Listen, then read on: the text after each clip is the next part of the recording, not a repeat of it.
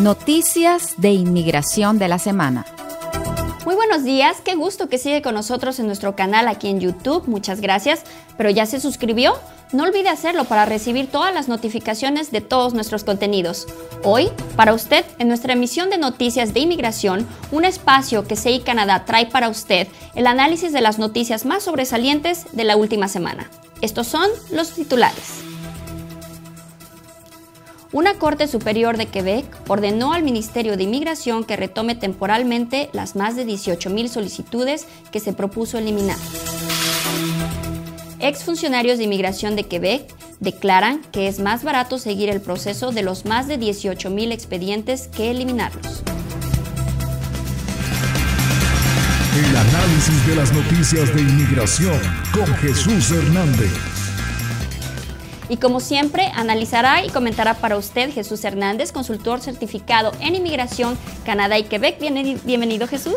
Hola, ¿cómo estás? Buen saludarte. Como lo anunciamos en las emisiones pasadas, el proyecto de la llamada Ley 9 ha seguido generando notas, Jesús. Bueno, Wendy, eh, fue muy aplaudida la decisión de que hace unos pocos días el ministro de Inmigración pues decidía eliminar las 18 mil aplicaciones y estábamos esperando una respuesta por parte de la Corte.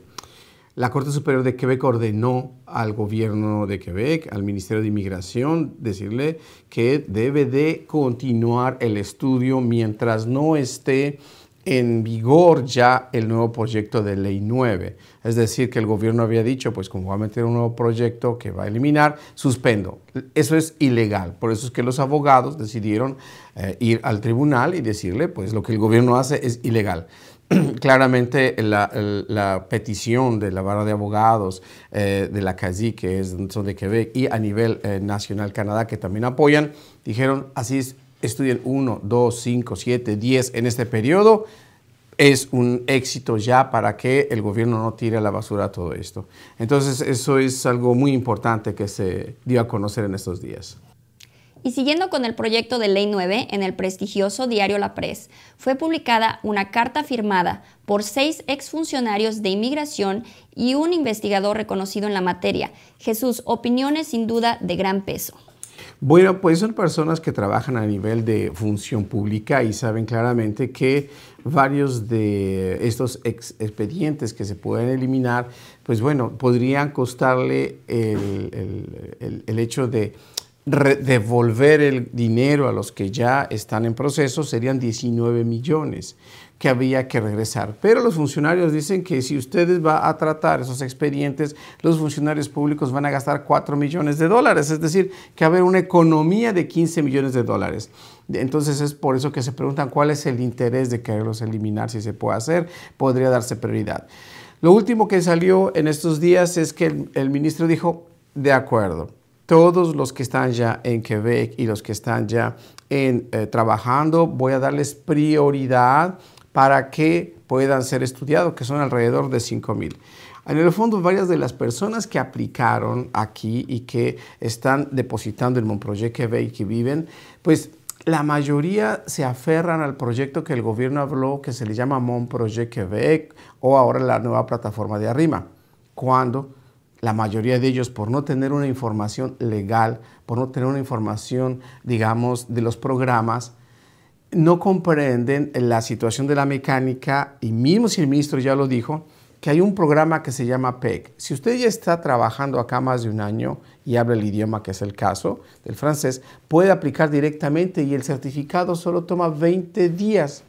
O si usted estudió acá mm, un curso de más de 1800 horas y que usted está ya con el nivel, no tiene por qué aplicar a un programa que está usted en espera que le den respuesta.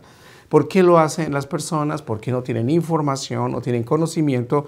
Eso el gobierno es el que tiene que transmitir la información. Mismo si ya la transmitió y les dijo, si usted está aquí, aplique por el PEC, pues bueno, es, no es eh, concebible porque hay una confusión, porque entonces si estoy acá y hay una plataforma, pues yo ya metí mi plataforma, entonces ya hay, eh, no hay una claridad. Obvio que es difícil que se entienda todo esto. El gobierno no da consejos a cada persona, de ahí la importancia de tener un consultor porque varias de esas personas que están aquí con el problema me van a borrar mi expediente, no existiría realmente para ellos. El problema es más bien para los que están en el exterior, que ellos sí están esperando ser invitados para esa nueva plataforma, pero en general el gobierno ya dijo claramente que en este año solamente va a abrir unos 400 cupos de eh, em, el, arrima y que solamente hasta el 2020 va a aumentar el número y que la prioridad de estos, que son más de 15 mil por año, son del programa PEC. Pues muchas gracias Jesús por estas eh, importantes decisiones que se están tomando y pues los 10 días a los que ha obligado esta determinación de la Corte van corriendo. Esperamos ver que nuevas noticias se generen y para estar bien informado, por favor, no olvide dar clic a este video. Y muy importante, suscríbase a nuestro canal, active las notificaciones para que así pueda recibir todos nuestros contenidos actualizados. Le invitamos a ver también nuestros otros segmentos informativos como Visas Hoy, Profesionales Latinos en Acción y nuestra transmisión de CI Responde, donde estamos realizando el sorteo de una cita personalizada de estrategia jurídica con nuestros consultores especializados. Participe y las reglas del sorteo están y los demás detalles están encontrados en nuestras redes sociales como Facebook y Twitter. Por ahora eso es todo, me despido, soy Wendy Hoyos y gracias al equipo que hace posible esta emisión. Hasta la próxima.